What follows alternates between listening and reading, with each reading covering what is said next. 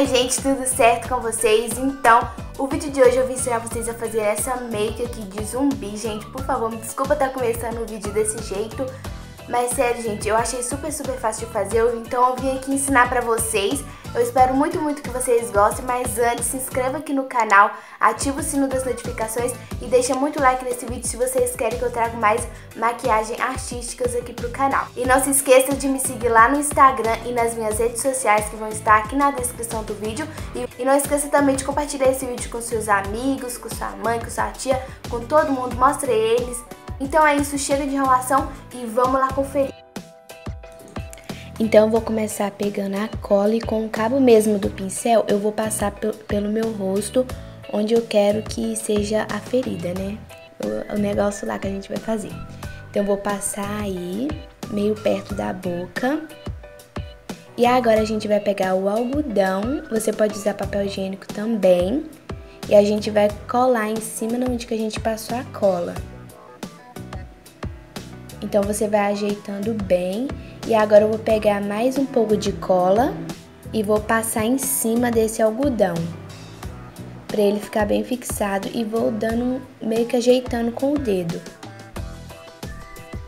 E tirando o excesso.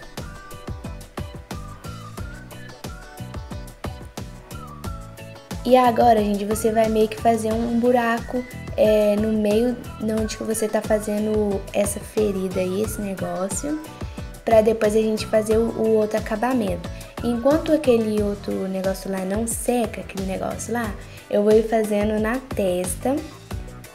Então, do mesmo jeito que a gente fez no outro, a gente vai fazer na testa e vai esperar secar. E pode parecer que tá meio estranho, mas depois vai dar tudo certo.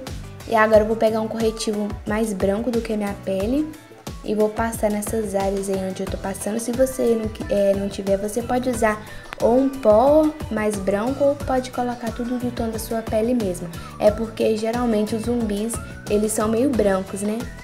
E depois do corretivo eu vou aplicar a base e vou pegar essa base também e vou passar em cima desse algodão.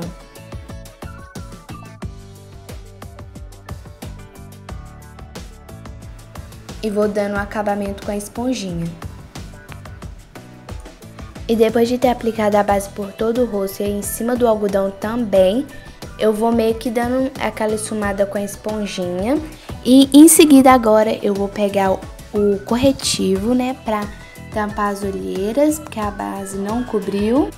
Então eu vou passando corretivo naquelas áreas que a gente quer iluminar e vou pegar o pincel e vou ir passando, né, para espalhar esse corretivo e esfumando ele.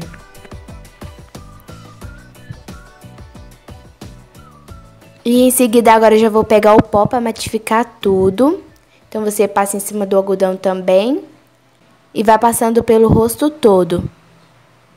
Vou pegar a sombra preta e com o pincel de esfumar vou ir passando naquele meio que a gente fez para criar profundidade. Então vocês podem ver que eu tô passando ali e vou passar lá no da testa também. Então eu vou esfumando bem para não ficar muito marcado. E faço no da testa também. E depois de passar a sombra preta, eu vou pegar o batom vermelho e vou passar em cima dela e vou meio que fazendo como se o sangue estivesse escorrendo. Vocês podem ver aí. Então eu vou passar no meio e vou pegar um pincel bem pequenininho e vou meio que passando no pescoço também para dar aquele efeito aqui de sangue, sabe?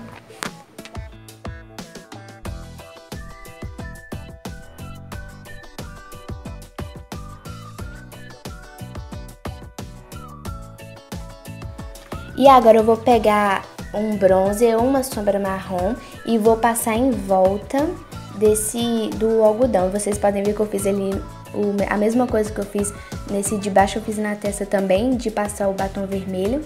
E agora, e gente, pode parecer que tá meio marcado aí esse negócio que eu tô passando, é a sombra marrom, mas não tá, é porque no vídeo tá parecendo que tá marcado, mas pessoalmente não tá. E a gente passa ele para dar profundidade, para dar mais aquele efeito, né, de que a gente tá com machucado na cara. E agora eu vou fazer o contorno. Pode fazer bem marcado para dar aquela impressão que o nosso rosto tá mais fino, né? Então eu faço no meio da bochecha, na testa, na papada e no nariz também. E agora com o resto daquela sombra preta, eu vou pegar um marrom e vou passar aí no, no côncavo, esfumando pra cima. E vou dando uma esfumada com o dedo, que é só pra dar um efeito mesmo, pra, pra pálpebra não ficar muito clara. Sabe esse canto interno onde eu tô passando, que tá mais concentrado? Então, passa nele pra dar aquela impressão que seu olho tá mais fundo. E sério, isso vai dar um efeito muito legal. Então eu vou esfumando com o dedo e passando. E agora eu vou vir com a máscara de cílios, porque mesmo a gente sendo um zumbi, a gente não pode ficar com cílios pequenos, a gente tem que estar com aquele cilhão. Os meus cílios não são muito grandes, mas tudo bem, a gente dá um jeito. Então eu vou ir passando nos cílios, nos cílios de baixo também. E pra finalizar, um batom vermelho. E, gente, eu tô usando cremoso, que o cremoso vai dar um efeito mais legal.